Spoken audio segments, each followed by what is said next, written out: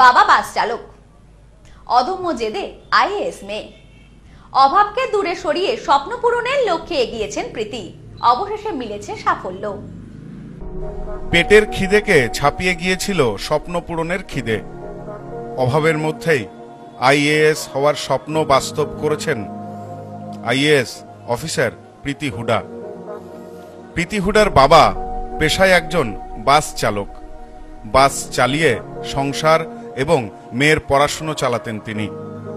প্রীতি ছোট থেকেই খুব মেধাবী ছাত্রী ছিলেন। পড়তে খুব ভালোবাসতেন। পরম বন্ধু হিসাবে বইকেই বেছে নিয়েছিলেন তিনি। দশম শ্রেণির বোর্ড পরীক্ষায় সাতাত্তর শতাংশ নম্বর পেয়ে উত্তীর্ণ হন। অভাবের সংসার ছিল প্রীতিদের। তাই প্রীতির বাবা মা ভেবেছিলেন, মেয়েকে হয়তো আর বেশি দূর পড়াতে পারবেন না।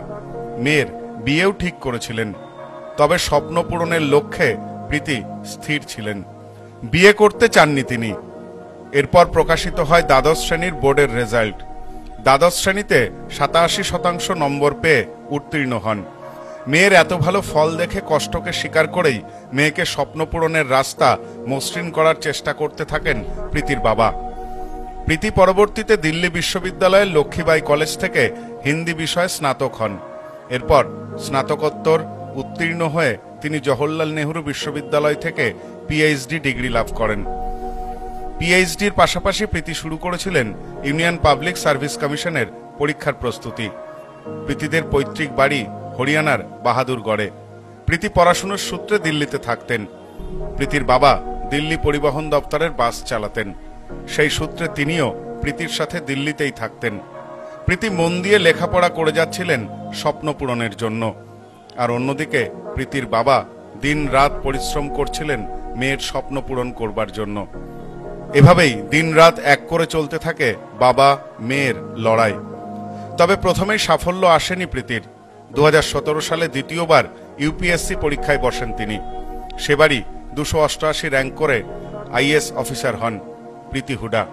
এরপর গণমাধ্যমে একটি সাক্ষাৎকারে আইএএস অফিসার প্রীতি হুডা জানান আইএএস হওয়ার খবরটা তিনি ফোনেই বাবাকে প্রথম জানিয়েছিলেন।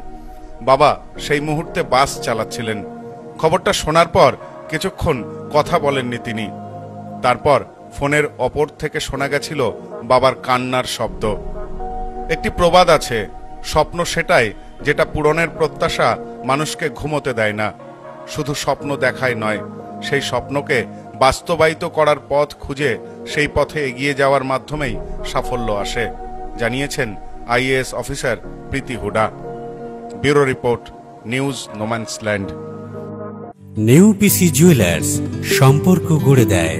বনগাঁতে আমাদের তিনটি শোরুম প্রতিদিনই খোলা। নিউ পিসি জুয়েলার্স বনগা বাটার মোড়। New PC jewellers branch Kumudini স্কুলের বিপরীতে। New PC jewellers beauty Motiganj Hatkhola.